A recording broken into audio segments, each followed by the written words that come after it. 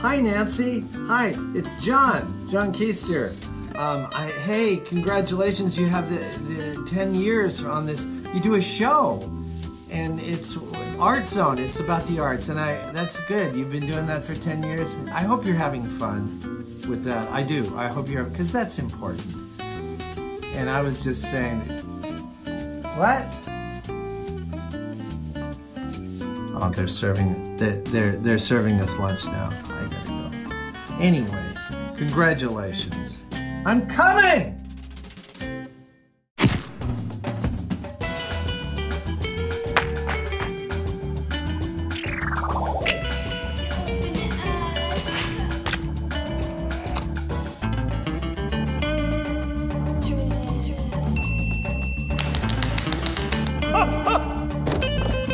Hello, hello.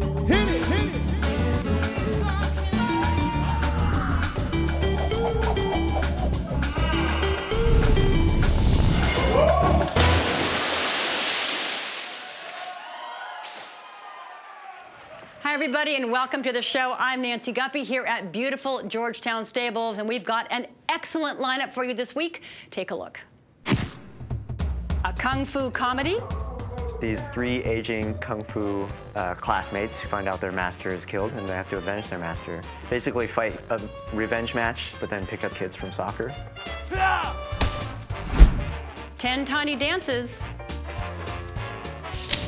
Hello, I'm Julie Cascioppo, Julie Cascioppo's calendar, curating this calendar of events. Hey, baby. and Brett Benton's blues. Hey,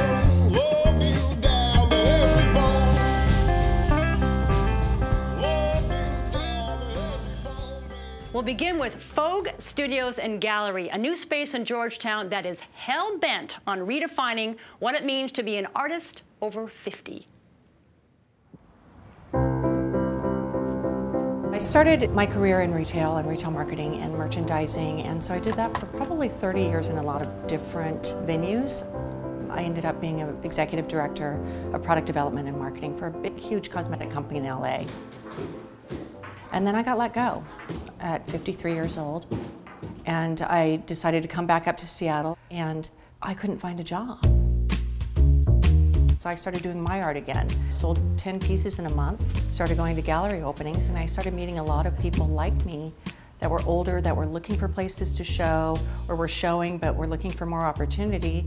And I decided to start this gallery for artists over 50 and exclusively over 50.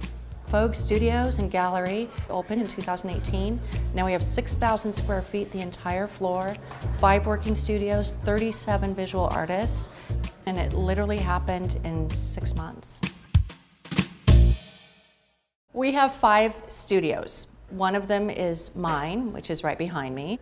The other studios are rented by the year, and the artist has full-time access to them 24-7. They have a key to the building. I started in about 2012 working seriously as an encaustic artist, which is painting with hot beeswax that's mixed with Damar. That's a tree resin that helps harden the wax over time. But I also started collaging things into my art, so I do encaustic, encaustic collage, and collage. Always thought I was going to be an artist. Other things got in the way. I had a great career at Nordstrom in visual merchandising. From that, I became a full-time florist. So coming here, having a chance to have this beautiful space, been here a couple of months uh, into my year lease, and um, I'm loving it. We have a real variety of artists here. We have people that have been lifelong artists. We also have people that are now getting into art as they're retired. It's their time. The kids are grown, and that's a big part of it. I started college as an art major and met my future wife and decided, you know what, I don't think I can make enough money as an artist, and so I became an engineer. One day at the peak of my earning power, I decided, you know what, I'm gonna quit working in tech and I'm going to pursue my passion.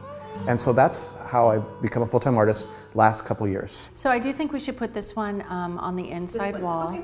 I wanted to create a space for artists that was driven by artists. So that'll fit just right when I'm looking at it right here. Great. So I take a very, very low percentage of only 15%. So the artist walks away with 85% of the sale. It's not a get rich quick scheme for me at all, but that's okay. Nothing makes me happier than selling someone's art. Going to Houston. Once a month on Sunday nights, we have an artist, what we call our artist talks. And that, what that really is is an informal gathering. We get to know each other better. We have fun. It's very casual. So all these ideas are just stacked up, just knocking and waiting to get out. It's really something that I wanted to bring back that I remember from when I was an artist, when I was in school and we all got together and talked about art, but we smoked cigarettes at the time, so we don't do that anymore because we're older and we're smarter now. Yeah.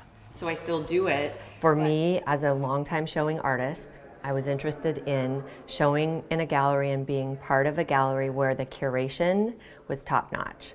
She sets things so there are low costs, beautiful style and environment and offers an opportunity for artists to make their best living at creating their work. The second Saturday of every month, we have our art attack from 6 to 9. We have wine, we have snacks, and the artists are here, and you can go and watch people work. You can watch demos, which is a really unique and fun thing. And if I don't like it, I can cover it all up with something else. We have over 200 works of art in this building. There's a lot to look at, and it's a huge, great party. We want to show people that we're not, you know, on a Centrum Silver ad, riding our bikes and smiling. You know, it's like we have more to offer than that. When people come here and they light up and they're talking to one another and they're feeling good about themselves and they're feeling important, it's everything. It's everything.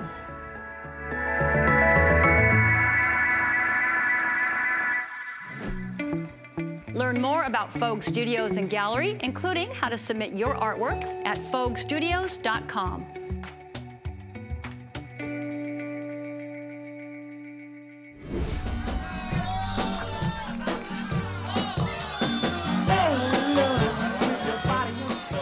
filmmaker Bao Tran received wide acclaim for his 2008 short film Bookie, and he was the editor of the action blockbuster Shalom, as well as Jackpot, Vietnam's official entry in the 2016 Oscars. Bao is currently hard at work on The Paper Tigers, a highly anticipated action drama comedy slated for release in 2020. And here to talk about the movie is the writer and the director himself, Bao Tran. Hello. Hello. Um, so, Paper Tigers, it's been a long time coming. Congratulations. You wrote it around 2011, something like that? Thank you. Yes, the script I wrote about uh, started with a one-page treatment that we started pitching in 2011. Yeah. And ever since then, never looked back. Never look back. Yeah. What's the basic storyline of the movie? Well, the basic story of of the film is about these three aging kung fu uh, classmates who are now estranged from each other. Uh, but they find out their master is killed and they have to avenge their master. But now they have kids, they have jobs, they have wives, and they have lives to lead. And uh, it's just kind of like all the drama and comedy that ensues from that, of having to basically fight your fight a, a revenge match, but then pick up your kids from soccer beforehand. So that's kind of the fun idea that we wanted to live. Yeah, what a, what a good contest there. Yeah. And you know, most people, or many people, would think of uh, martial arts uh, movies as non-stop action, but this film is very relationship and very character-driven. Was that an important to you? Yeah, it's a huge point for me. I, I think, um, you know, I think even to have good action scenes, you have to have a good story and it'll help, help uh, re- people relate to it and be invested in the action scenes more when you have characters you care about. Right, right. Who did this? Carter. He said his gun fu was better, so I challenged him to a Bamo. Your brother's with you. Our kung fu is to help, not to hurt. Don't make the same mistakes that I made. Now, I know as a kid, you were you kind of forced to learn martial arts by your parents? Yeah. And you didn't want to, but then you kind of you kind of took it on. Is that it was right? a weird thing. Yeah, it was. Uh, I was a bit of a couch potato, uh, latchkey kid, and parents. Uh, I was, you know, children of an immigrant generation, so they were all working, and I was just kind of like left to my own devices. So they made me go do martial arts to do something with myself. Mm-hmm. And look at me now. Hey, Look at you now. Man, Yeah, you're, yeah. you're a martial Mm, arts yeah. master. Um, Yeah. Are any of the characters uh, kind of re- represent you or your friends? Uh, You know? well, the story is like very much. It's set in here in Seattle. Yeah. Um, and we wanted to pay tribute, first of all, to kind of the rich martial arts history that Seattle has, and a lot of people um, might be aware that Bruce Lee spent his early years here, Mhm. and at that in that time he had taught um, a lot of people uh, kung fu uh, that were non-Chinese, and at that time it was very much uh, frowned upon by the Chinese community, and meant, kung fu was meant for Chinese people only. So for Bruce to do that, that was very um, trailblazing and very um, different. Where did you learn how to direct action films? Um, well, a lot of things is self-taught. I grew up watching a lot of Hong Kong films and uh, just figuring out how to do it. Uh, I guess um, from a mechanical point of view, you kind of go out, take your camcorder, and kind of copy what they were doing, and then just figure out from there. So. And you had a mentor, right? Yeah, so I was fortunate to have a mentor in Corey Yuen. Corey Yuen is um, one of the great Hong Kong film directors who had grown up with Jackie Chan and Hmm. Sammo Hung, just kind of from that generation of filmmakers. Um, so, you know, he was a family friend and I was able to kind of show him the stuff that I was working on. He'd give me feedback and just kind of give me all the things that, um, you know, would help me get better. And that was really helpful, so. Well, I wanted to mention that you pitched the Paper Tigers to Hollywood studios, and you got some serious interest. Yeah. Like maybe like a like four million dollar budget or something like Yeah. that. But you did not go the Hollywood route. And why did you not do that? Well, you know, yeah, we did had a lot of interest, number one, and we had a lot of um, different offers of different variations, but kind of the main theme was, hey, can you have a white guy as your main character or change one of the one of the, your Less three Asian musketeers? people yeah, in the film. less Asian. Can you somehow make it less Asian? Wow. With more money. Um, Mhm. so that was kind of the, the things that we always knew that um, we were going to get, because this is a common challenge that uh, POC filmmakers or POC stories have, Mm. um, and something that we did, we knew that was a hard line for us to not cross. Um, so yeah, I mean, it was also something that we was kind of a no-brainer. We just wanted to make it on our terms and tell the story authentically. No more Bemo. No more challenges. When on, on the other hand, I read that you there were some Asian investors who were uncertain about the martial arts topic. I Yeah. think. Um, what was their concern? financiers from Asia, it's a little bit of old hat. Like kung fu movies are a dime a dozen over there. So um, for them to want to get involved with a film that's here in the U.S., it's a different thing. Um, for Asian Americans or, or, or, or immigrant Asians, um, it's a different conversation because their kung fu has become our stereotype in a lot of ways. Stereotype. Yeah, it has Mhm. become like any Asian that you would see on screen or on film now are probably doing martial arts. Um, so there's there was pushback as far as like how come we're not moving the ball forward? How come we're not portraying Asians in the more nuanced or different light and or different genres? Uh, so there was kind of like things were kind of stuck between two worlds on that. But we just love kung fu.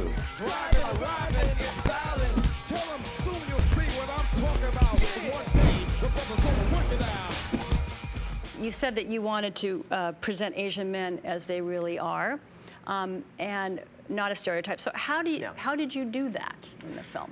Our main character, for example, is newly divorced, and he has to deal with um, this new normal of uh, co-parenting with his ex-wife, and but he's not very good at it.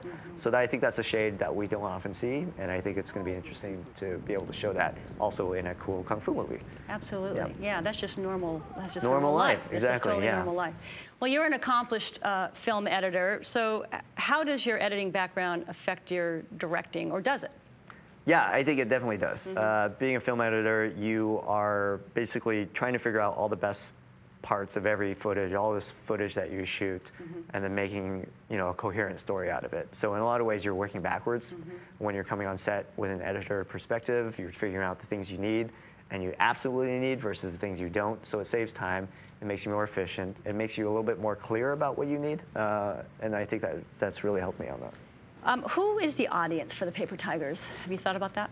Yeah, well, I think the audience would be ideally people who are nostalgic about kung fu films, or at least open to it. And I think we want to surprise them. A lot of people who are our age or middle age or dealing with midlife crises Sure. who will see these guys as real underdogs. Yeah. And I think young people really like it too. Um, we always liked uh, Shaun of the Dead. Shaun of the Oh, Dead. so funny. Yeah. So good. Yeah, well, that was the way we kind of think about it. We want to do for kung fu movies what Shaun of the Dead did for zombie movies. And It's just really um, fresh, different, but also loving to the genre and loving to, to the story. That's a great little line there. What Yeah. you just said. That's a great little tagline, right? Yeah.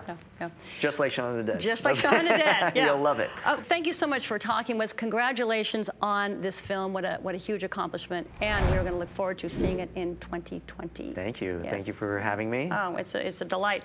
How many times have you visited Bruce Lee's grave? Oh gosh, anytime a visitor's in town, You take I'll, 'em. I'll, I'll, Yeah. they'll- they'll probably want to see it or I'll bring it up and they want to see it. Yeah, sure, yeah, so, yeah, yeah. What a man. Empty your mind.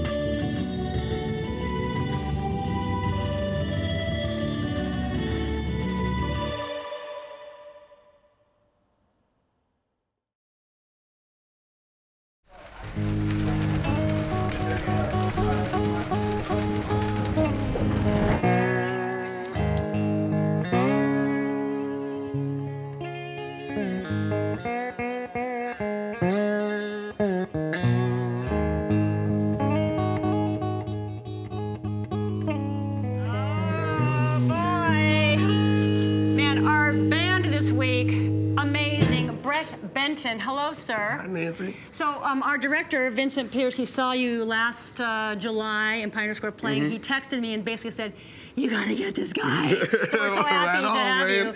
Um, so Right why don't we introduce uh, your cohorts here, starting back here. Well, uh, this is Mr. Arthur Ortega back here on the drums, Arthur. and this is Mr. Jesse James on the bass. Hey, you guys, nice to have you here. Um, now, you grew up in the South. Mhm. Mm, and what, where? Uh, so I was born in uh, Alabama, Mm-hmm. and I lived in southern Alabama, like northern Florida area, Okay. pretty much my whole life. And surrounded by music from the get-go? Mm-hmm. And hmm I have uh, family members that play. You know, I mean, there's always music going on down Yeah. there. So if I wasn't around people playing it, I mean, I'd be listening to it otherwise or playing it myself. So you play a style of blues, country blues, Mhm. right? So for someone who isn't doesn't know everything about the blues, like myself, what specifically does that mean, country blues? So country blues is a is a genre that um, you know, them folks in northern Mississippi they couldn't afford radios. You know, they couldn't afford uh, to hire whole bands. They couldn't afford to uh, go. I mean, especially couldn't afford to go out and see shows. I mean, you know, it's very rural down there, and so uh, they would they came up with this real rhythmic music, and it's like uh, you're playing like the rhythm and the lead at the same time. You know, so folks can dance at their house parties and. Right. You know, you got one person doing it all, but what we do is like an extension Okay. of that. Of that. So. And so you just recorded uh, last in, in April your first studio album, Mhm. right? And it's called "You Got to Pray" Mhm. on the Knickknack uh, label, which Yep. is here in Seattle. Um, is that uh, "You Got to Pray"? Is that figuratively or literally? Both. both. Yeah, Yeah, it's- you gotta do both. It's, something my grandmama used to tell me when I was a kid, you know, Uh-huh. and, and ever since I started playing music, I mean, she, you know, she just, she came to see me one time, Mm-hmm. one of my first big shows. We played this big theater down in Pensacola, and she came and she, uh, she had just gotten cancer treatment. Hmm. And she came and listened to me play, and uh, she said it, it just recharged her whole soul. You know what I mean? And That's fabulous. you know, and will do that. it will. Music It will do that. That's why we do it. That's why you do it. You know? Right. And there is the, the CD right there, by the way. So um, you got, and also I know you got some really uh, royalty on this record, uh, playing on this record, Yep. right? Some some Delta Yep. blues royalty. Uh, yeah. so Cedric Burnside, mhm, he's the grandson of uh, R.L. Burnside. Uh, Mhm. he's good friends of ours, and uh, he is a good friend of ours. And uh, yeah, I was down there in uh, Mississippi. We were on tour last year, and he basically like was like, "Yeah, man, I'll come in." Well, that says something right there. Yeah. I mean, that says. well, thank you. so you got a couple songs for us, and Mhm. off the off the record, what are you gonna do first? What's up first? So it'll be the title track called "You Got to Pray." You got to pray. Mhm. I think we all need a little bit of that. I hear you. All right, you ready to, to pray? Yeah. Guys, you ready to pray? yeah. All right, We'll ladies and gentlemen, Brett Benton.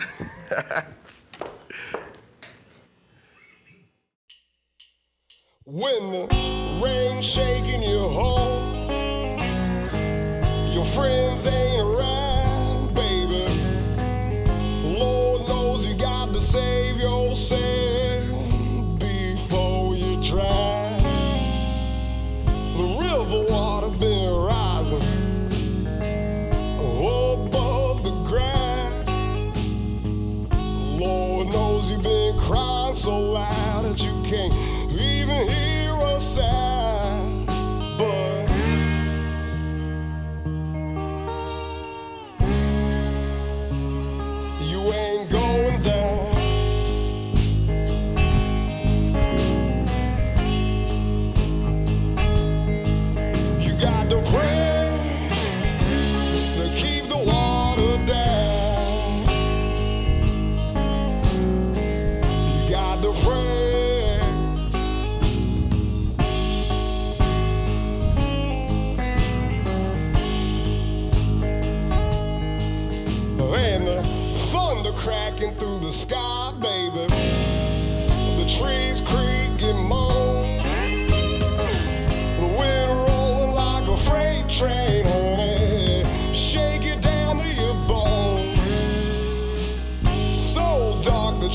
See a thing. All your hope is gone. You just got to hold on tight,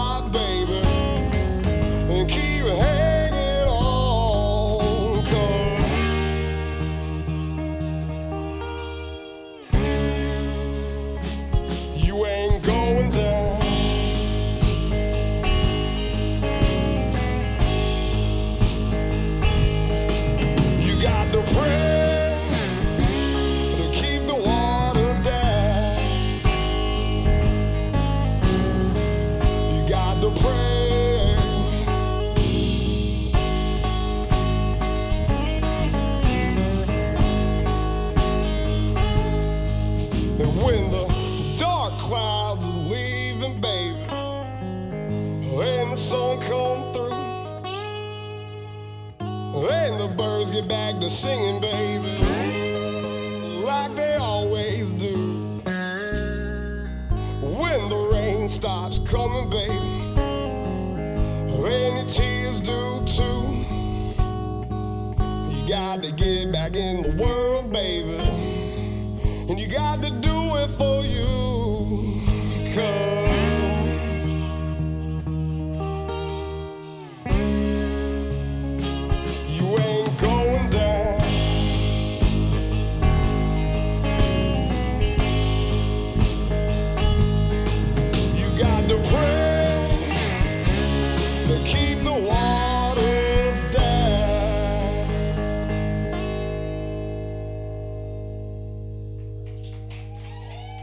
Thank y'all. Pick up You Gotta Pray in your favorite indie record store or online, and catch the band live with Reverend Peyton's Big Damn Band on Sunday, October 27th at the Tractor Tavern.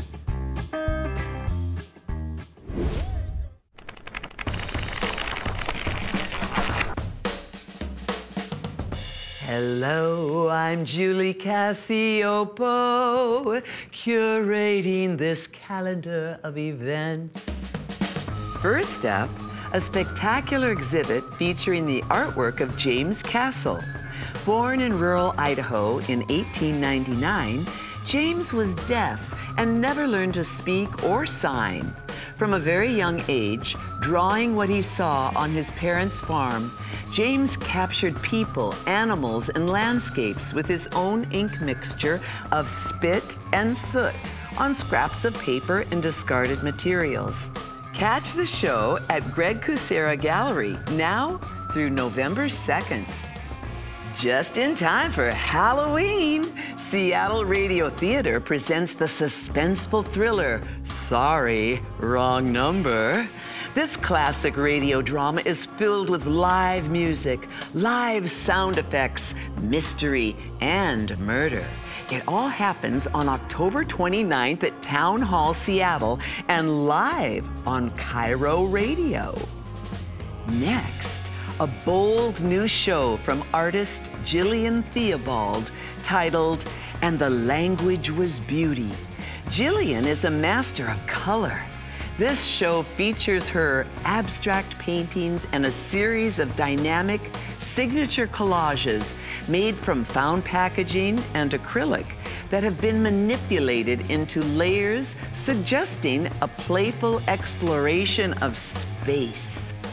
On view now through November 16th at Studio E Gallery. And I'm excited to invite you to my cabaret show at the Pink Door. As an international jazz and cabaret chanteuse, I put my heart and soul into every performance. I recently returned from Norway, where I connected with my ancestry on the reality show Alt for Norge, which translates to All for Norway. I am bringing this experience into my show and dedicating one set to my Norwegian heritage. You can join me on Friday, October 25th at the Pink Door. Thanks, Julie. And We have one more idea for your fun things to do list. Backed by popular demand is 10 Tiny Dances, a showcase featuring an evening of 10 dances between three and eight minutes long, performed on a four by four foot stage. Well, what's so cool about this format is that this tight space restriction inspires choreographers and dancers to think and create outside of their comfort zone, which, more often than not, results in wonderfully unique and compelling performances. A 10 Tiny Dances takes place October 24, 5, and 6 at On the Boards on Lower Queen Anne, and ticket information is at ontheboards.org. And that is a wrap. Big thanks to Georgetown Stables for hosting us, and thanks to you, of course, for tuning in. Have a swell week, and we'll see you real soon.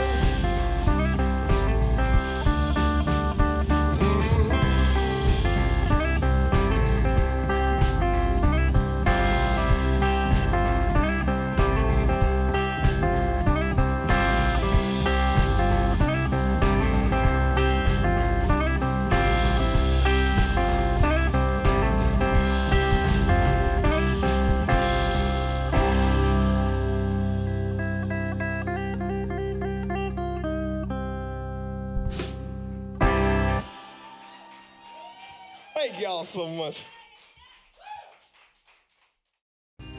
Art Zone is filmed on location at Georgetown Stables, the coolest event space in Seattle. More information is at georgetownstables.com.